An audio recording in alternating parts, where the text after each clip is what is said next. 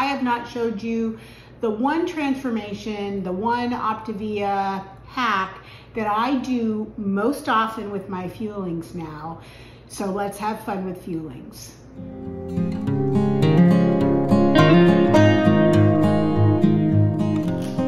Welcome to my channel. If you're new here, my name is Elizabeth and I'm living in the light by documenting my weight loss journey and I'm using Optavia's 5&1 program.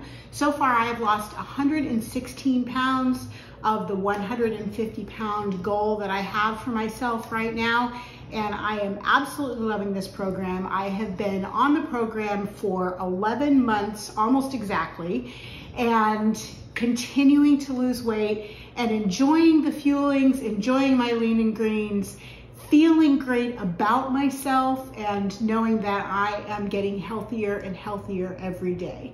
Before I show you this particular Fun with Fuelings episode though, would you please give me a thumbs up? It really does help my channel and it helps me as well. And if you haven't subscribed, I would love it if you would subscribe and share the videos, especially if you know somebody who is on Optavia or somebody who is trying to lose weight. My lean and green with me recipes are just plain healthy recipes that are great and I do lots of fun with fuelings that will tell you how to transform some of your fuelings using only water.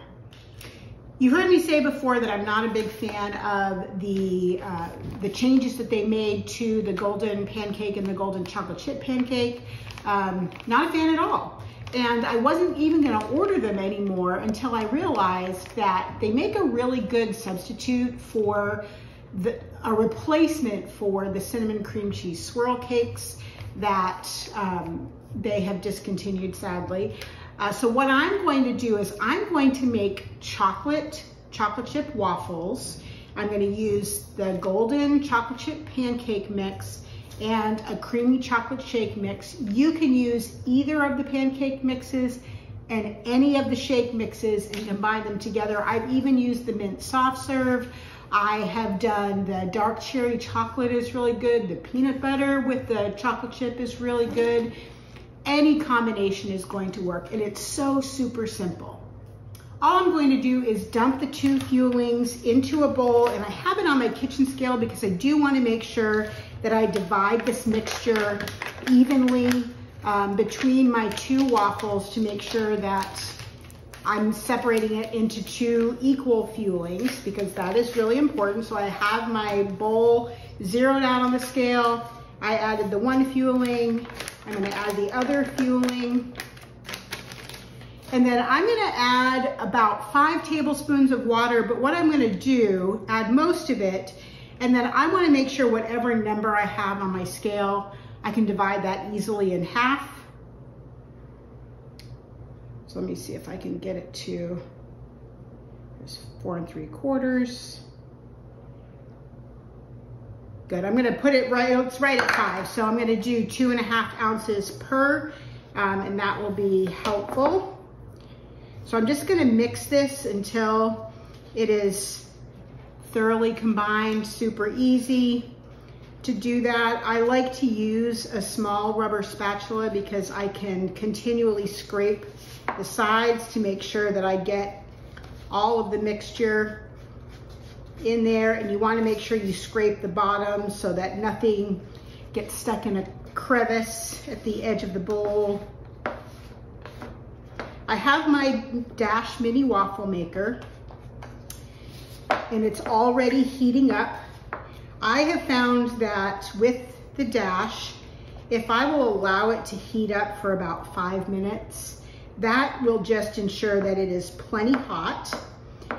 Also, I don't want to use too much water in the mixture because it, it, doesn't need the extra water, so you just need to be careful.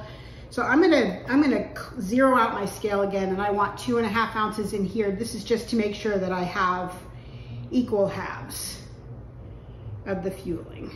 I'm almost to there we go. That's two and a half ounces. So that's going to be one. This is going to be two and a half ounces.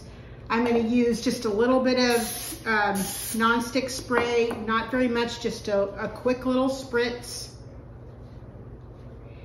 It's like 15 sprays to equal a condiment. So, you know, I have like an eighth maybe of a condiment there.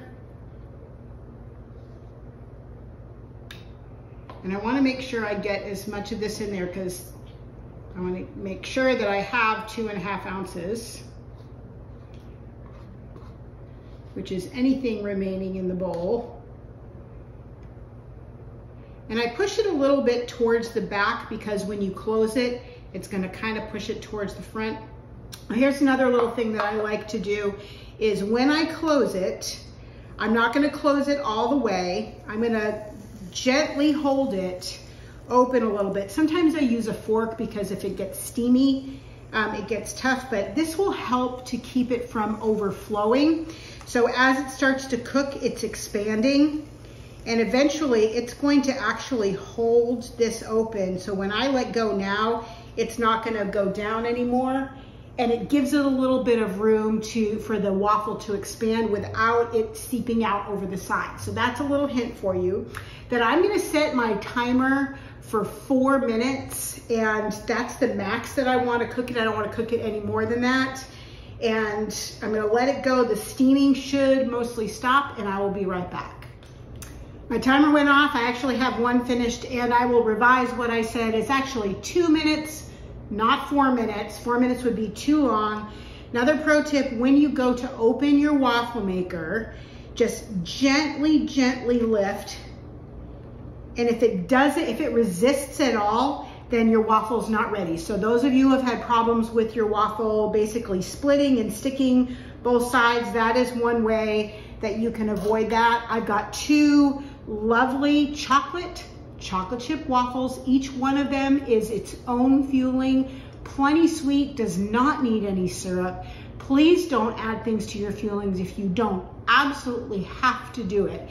It really, really is sweet enough and your body, you need to give your body time to adjust to the change in the level of sweetness of your food. So we might, you might be really used to a lot of sugar, but if you don't give your body time to adjust, then you will just fall right back into those old habits when you stop doing Optavia and feel like you still need to have that sweetness and end up gaining your weight back. And we really don't want to do that. So teach your body to live without some of the things. Try this one out. Let me know in the comments box down below what combination of pancake and shake you tried and what you think about it. And until I see you next time, please live in the light.